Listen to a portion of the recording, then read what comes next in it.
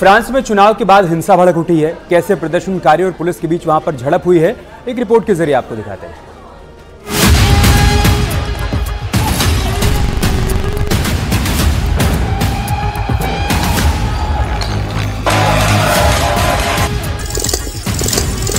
सड़कों पर आगजनी।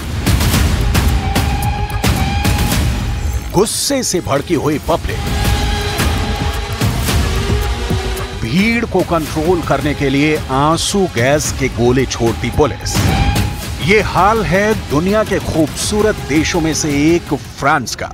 और इन तस्वीरों के पीछे है वहाँ के राजनीतिक हालात। जो वहाँ हुए चुनाव के बाद अचानक बदल गए। फ्रांस में पब्लिक इतने गुस्से में है कि सड़कों पर उतर कर नारेबाजी करने लगी। लोगों ने हंगामा किया। सड़कों पर हर तरफ़ आगजनी होने लगी। देखते ही देखते हज़ारों लोगों की भीड़ सड़क पर उतर आई। चुनाव नतीजों के बाद कुछ ही देर में फ्रांस की सड़कों पर हर तरफ़ सिर्फ़ शोर ही शोर था। धुआँ ही धुआँ था।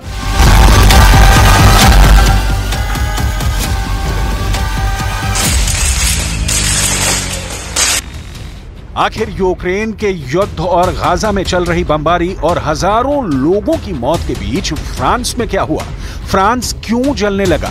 फ्रांस, जो यूरोपियन यूनियन का एक बड़ा देश है, वहाँ इस वक्त ज़बरदस्त राजनीतिक हलचल हो रही है। ब्रिटेन की सत्ता बदलने के बाद जनता ने फ्रांस में भी तख्ता पलट कर दिया है।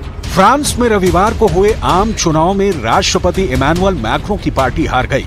चुनावी आंकड़ों के मुताबिक कुल 577 सीटों पर मतदान हुआ। इनमें से वामपंथी न्यू पॉपुलर फ्रंट गठबंधन को एक सौ बयासी सीटें मिली। दूसरे नंबर पर इमानुअल मैक्रो की रेनेसा पार्टी रही। रेनेसा सिर्फ़ एक सीटें ही जीत पाई, जबकि दक्षिणपंथी नेशनल रैली गठबंधन को एक सीटें मिली हैं। तीनों बड़े दलों में से किसी को भी बहुमत हासिल नहीं हुआ है। फ्रांस में बहुमत के लिए दो सौ नवासी सीटें जीतना ज़रूरी है। किसी भी पार्टी के पास बहुमत नहीं है तो ऐसे में फ्रांस में गठबंधन सरकार के अलावा कोई रास्ता नहीं है। नतीजे जैसे ही आए, फ्रांस में हिंसा भड़क उठी।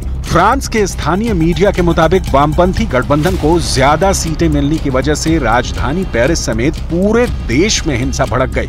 नतीजे आने के बाद प्रदर्शनकारी सड़कों पर उतर आए और हिंसा शुरू कर दी। कई वीडियो में प्रदर्शनकारियों को सड़कों पर आग लगाते और उपद्रव करते हुए देखा गया। हिंसा को देखते हुए देश भर में पुलिस को तैनात कर दिया गया। फॉक्स न्यूज़ की रिपोर्ट बताती है कि हालात गंभीर हैं। प्रदर्शनकारी हिंसा कर रहे हैं। झड़पों के बीच कई जगह पर पुलिस ने आँसू गैस का इस्तेमाल किया है।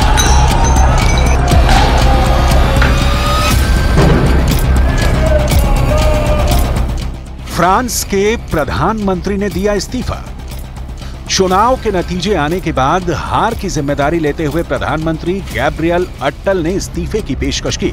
लेकिन गैब्रियल अट्टल तब तक प्रधानमंत्री बने रहेंगे जब तक कोई और फ्रांस का पीएम नहीं बन जाता। ग्रेबियल अट्टल ने कहा कि हमारे पास बहुमत नहीं है। आखिर ये सब क्यों हुआ? अब वो सुनिए। फ्रांस की मीडिया के मुताबिक फ्रांस की दक्षिणपंथी पार्टी नेशनल रैली यानी एनआर के लोग सड़क पर आ गए और प्रदर्शन करने लगे। इस दौरान पुलिस ने सेंट्रल पेरिस में लोगों पर आँसू गैस के गोले दागे, जिसमें कई लोग घायल हैं। दरअसल जब 30 जून को देश में आम चुनाव हुए थे तो दक्षिणपंथी पार्टी नेशनल रैली एनआर को सबसे ज़्यादा 35.15 प्रतिशत वोट मिले, जिसके बाद अनुमान था कि पार्टी को 230 से 280 सीटें मिल सकती हैं। लेकिन जब नतीजे आए तो ठीक इसका उल्टा हो गया। अब एक बार फिर देखिए कि किस पार्टी को कितनी सीट मिली है। फ्रांस के गृह मंत्रालय ने सोमवार को जो आंकड़े जारी किए हैं, उसके मुताबिक कुल 577 सीटों में से एनएफपी यानी वामपंथी न्यू पॉपुलर फ्रंट गठबंधन को एक सौ बयासी सीटें मिली, जबकि दूसरे नंबर पर मैक्रो की पार्टी रेनेसा पार्टी रही। रेनेसा को एक सीटें मिली। दक्षिणपंथी नेशनल रैली एनआर गठबंधन को एक सीटें ही मिली, जिसको कुल पैंतीस प्रतिशत वोट मिले थे। नेशनल असेंबली में बहुमत के लिए किसी भी पार्टी को दो सौ नवासी सीटें जीतना ज़रूरी है। ऐसे में अब किसी भी पार्टी के पास बहुमत नहीं है। वामपंथी गठबंधन में सबसे बड़े समूह का नेतृत्व तो जीन ल्यूक मेलेंशन कर रहे हैं।